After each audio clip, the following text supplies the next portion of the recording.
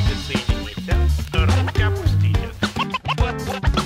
Ноги соедините, руки опустите. Bonjour, je voudrais vous présenter un petit coup de cœur en histoire aujourd'hui autour d'un personnage euh, qui est peut-être pas encore assez connu. Alors, en effet, qui a le plus œuvré, selon vous, au milieu du 19e siècle, pour l'abolition de l'esclavage Automatiquement, on a tendance euh, à dire Abraham Lincoln ou Victor Schœlcher pour la France, par exemple. et ensuite, il n'y a plus beaucoup de noms vraiment très importants, aussi importants qu'eux, qui nous viennent à l'esprit. Et c'est dommage parce que c'est beaucoup oublié euh, des personnages euh, politiques de l'époque, aussi connus à l'époque et aussi importants, qui ont œuvré pour leur propre cause, des hommes de couleur, anciens esclaves parfois. Et si on devait en citer un seul, il faudrait nommer Frédéric Douglass. Frédéric Douglass, c'est le père de tous les mouvements de libération des Noirs aux États-Unis. Il est si important qu'on fête chaque année son anniversaire qui se déroule le 14 février. Son histoire est un vrai roman.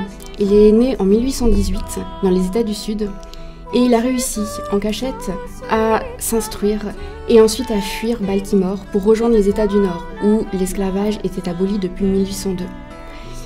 Il fit partie ensuite de la centaine d'esclaves en fuite qui ont rédigé leur mémoire pour alerter l'opinion sur les atrocités et les réalités de l'esclavage qui étaient bien souvent minimisées par la propagande de l'époque. Et ce qui est déjà une prouesse à l'époque euh, n'est qu'un début pour lui. En effet, il va devenir un des personnages les plus influents d'Amérique, aussi connu qu'Abraham Lincoln et connu jusqu'en Europe. Euh, il a également euh, fait partie du gouvernement, euh, du gouvernement euh, des États-Unis après la guerre de sécession. Il s'est opposé à Abraham Lincoln qui souhaitait expatrier les anciens esclaves noirs le plus possible à l'ouest des États-Unis. Il s'y est opposé en disant que les esclaves noirs, anciens esclaves noirs, étaient évidemment chez eux, là où ils étaient déjà. Et Évidemment, après l'abolition de l'esclavage, il a continué, jusqu'à 76 ans, à lutter contre tout type d'inégalité, que ce soit la ségrégation, qui a duré, on le sait, très longtemps aux États-Unis après même sa mort, que ce soit sur l'égalité des sexes et également la cause des Amérindiens, la cause des immigrés, etc. Je cite Mes lecteurs ont vu comment d'un homme on faisait un esclave. Ils vont voir comment un esclave devint un homme. Parmi ses principales actions, on peut citer qu'il fut membre du Secret Committee of Six. C'était un comité secret qui était chargé d'aider financièrement et de soutenir par tous les moyens possibles la lutte armée hors la loi menée par John Brown, cet abolitionniste viscéral. John Brown était peu soutenu par le Nord et était persécuté dans le Sud. Abraham Lincoln disait même de lui que c'était un fanatique parce qu'il soutenait les insurrections illégales euh, de d'esclaves pour pouvoir les libérer et les amener vers le nord. Néanmoins, ce fanatique, euh, soi-disant, euh, a permis à beaucoup d'esclaves de d'être libérés avant l'heure. Finalement, il fut capturé en Virginie, torturé, abandonné par le Nord, il fut jugé, traîné sur un brancard et finalement pendu en 1859, ce qui fit un véritable tollé jusqu'en Europe où les plus grands intellectuels prirent sa défense en vain. On peut citer Victor Hugo dans Un mot sur John Brown, qui est une lettre envoyée aux États-Unis pour soutenir sa cause.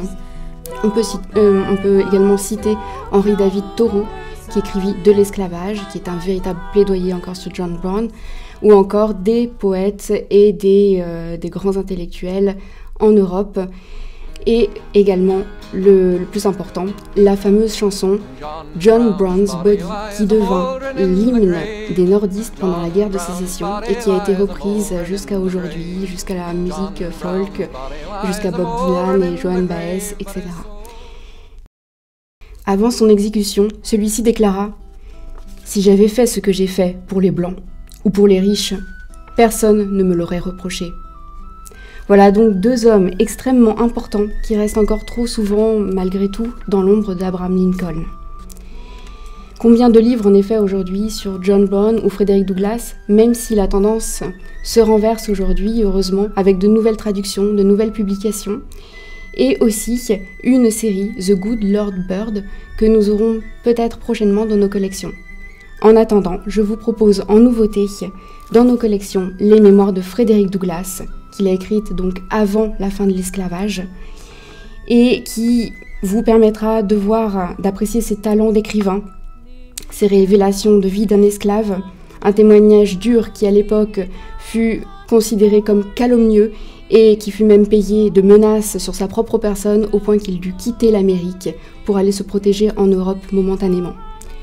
Un texte poignant qui nous révèle qu'un esclave qui naît est privé dès les premiers mois de ses parents, de racines, d'amour, n'a même pas le droit de connaître son âge, n'apprend que la violence au quotidien, un univers atroce enfin et déshumanisant où l'on n'imagine pas que certains puissent s'y relever pour donner l'exemple au monde entier. On disait tout bas que mon père était mon maître. Les moyens de le vérifier me furent enlevés. Les propriétaires ont établi que les enfants de femmes qui sont dans l'esclavage suivront dans tous les cas la condition de leur mère.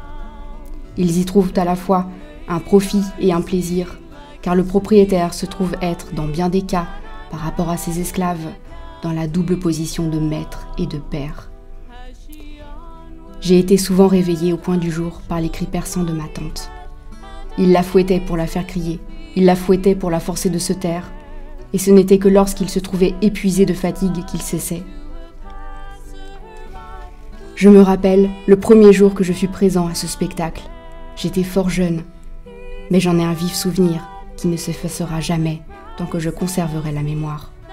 Ce fut le premier d'une longue suite de pareils outrages dont j'étais destiné à être spectateur et à avoir ma part. Cet événement me frappa l'esprit avec une force épouvantable.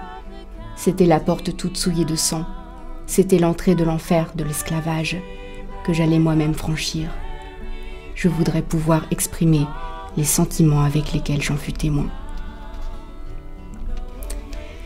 Frédéric Douglas évoque aussi l'importance des livres et son instruction quasiment autodidacte qui lui permirent de se rendre compte de son état et de se battre pour obtenir sa liberté. Les livres donnaient une forme et pour ainsi dire un corps à certaines de ces pensées qui s'étaient souvent présentées à mon esprit mais qui s'était évanoui, faute d'expression. L'instruction m'avait montré l'abîme affreux où j'étais plongé. La liberté s'était montrée à moi pour ne jamais disparaître. Elle me souriait dans chaque calme, elle mêlait son souffle à chaque vent, elle retentissait dans chaque orage. Tandis que les maîtres incitaient pendant les six jours de vacances par an les esclaves à se divertir, à boire, à jouer, en, en appelant cela des instants de liberté, lui, instruisait en cachette certains de ses frères au risque du fouet. On considérait comme un déshonneur de ne pas être ivre à Noël. Voici un de leurs stratagèmes. Ils font des paris sur leurs esclaves pour savoir lequel peut boire la plus grande quantité de whisky sans s'enivrer. De cette manière, ils réussissent à entraîner une grande partie de malheureux à boire avec excès. Ainsi, quand l'esclave lui demande une liberté vertueuse, le propriétaire rusé, profitant de son ignorance, le trompe en lui accordant une dose de dissipation vicieuse qu'il a eu l'art de désigner sous le nom de liberté. On utilisait le moyen de dégoûter l'esclave de la liberté en ne lui montrant que les abus. Quant à moi, je les instruisais, parce que je trouvais un charme inexprimable à faire quelque chose qui me paraissait de nature à améliorer la condition intellectuelle de ma race j'ai le bonheur de savoir que plusieurs de ceux qui venaient à cette école ont appris à lire, et qu'il y en a un, au moins, qui est maintenant libre par mon intervention. J'espère que cette présentation vous aura plu. N'hésitez pas à venir lire Frédéric Douglas, dont nous avons désormais les mémoires à l'espace Histoire au deuxième étage de l'Astrolabe. Et puis pour ma part, je vous dis à bientôt, j'espère, pour de prochains coups de cœur.